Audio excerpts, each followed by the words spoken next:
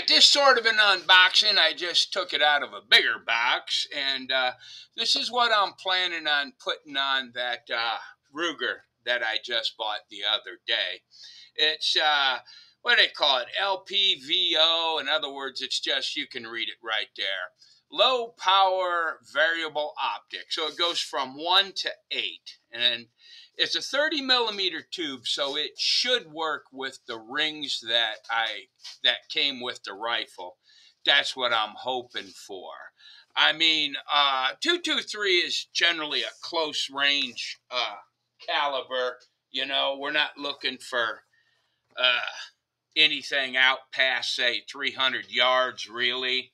Interesting. They nice packaging on this. So, this is a, uh, what is it? Yeah, right there. The Monstrum uh, Banshee. Now, this is uh, a brand that's popped up and has been getting uh, a lot of play lately. Uh, I've heard good things about them, and yeah, I've heard a couple of bad things. Uh, we'll see. But most of what I've heard on this scope is uh, it's good. I haven't heard much bad.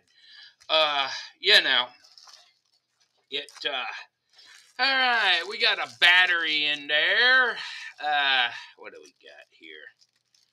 Yeah, battery, cleaning cloth, some kind of constructions. Ah, some sort of a sticker and a thank you note.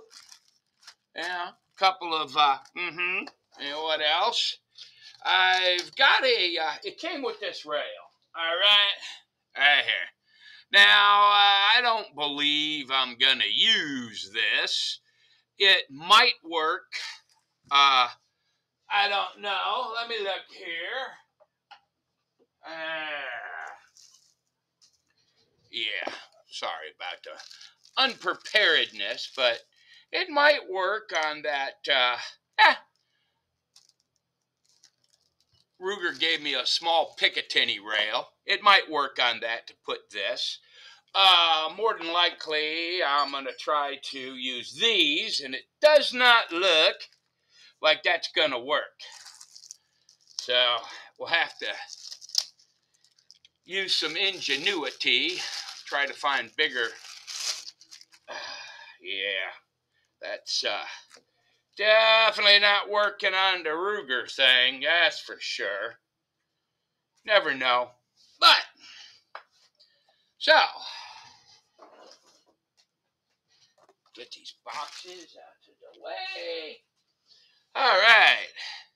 It's not a bad uh, thing there. All right. So, got them little flip up caps, which is cool. Yeah. Oh, that's not too bad. I don't know if you guys can. Ah, there it is. See it? Ah, I didn't think I'd be able to get that done. There you go. That's what the crosshairs look like. And of course, you've got uh, your adjustments right here and on top. So is what's going to go on the Ruger. So we'll see how she holds up. And I'm pretty sure I'm going to have to use this uh, right here. So there we go. All right, I'll let you know how she works, right? God bless. Yeah, let me see here.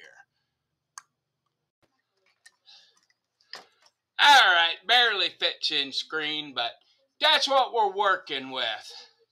It, uh, the rings, like I said, were too small, so I had to use the cantilever. And, uh, yeah, I just had to flip the cantilever around to get the right eye picture. But that's okay. I've had to do that before on ARs. So anyway, that's what she's going to look like. All right. God bless.